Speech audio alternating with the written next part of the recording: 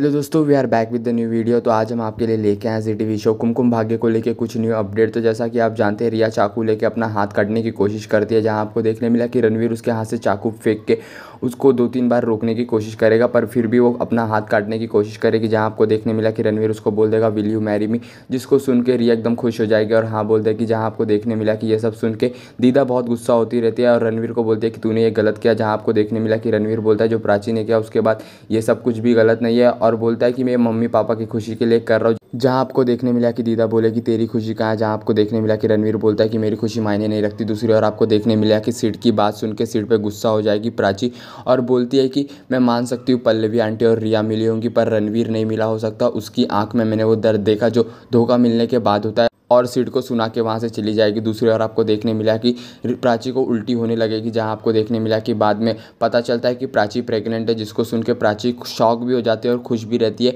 तो आज के लिए इतना ही। तो मिलते हैं नई वीडियो के साथ। तब तक के लिए बाय बाय